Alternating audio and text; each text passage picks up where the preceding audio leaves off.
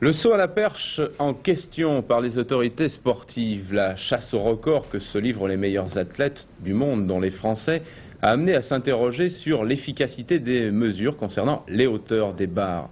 Entre 5,80 m et 5,81 m, la différence est faible et il paraît difficile de l'évaluer. Alors avant les championnats d'Europe d'athlétisme qui doivent avoir lieu le week-end prochain à Lille, les responsables de l'organisation se sont penchés sur ce problème. Dominique Leglou. 5 mètres 81, c'est le nouveau record du monde du soviétique Vladimir Polyakov. Un tabulateur électronique équipé d'un mini-ordinateur, on affiche la hauteur demandée par l'athlète et l'abord électriquement se place à la bonne hauteur. En aucun cas cet appareil n'est officiel, il ne fait que faciliter le travail des juges qui doivent, après le saut, contrôler la mesure. Comment peut-on, sans risque d'erreur, mesurer 1 cm de différence entre la performance de deux athlètes? Écoutez, toutes ces performances ont été accomplies lors de compétitions euh, très importantes par, et contrôlées par des officiels compétents.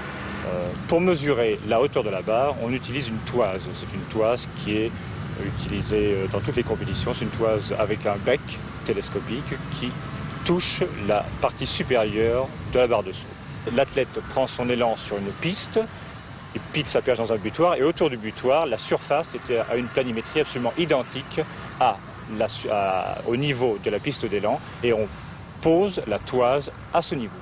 La hauteur est mesurée à partir de la verticale du butoir. Donc les juges toisent la verticale du butoir, cherchent la, barre de saut.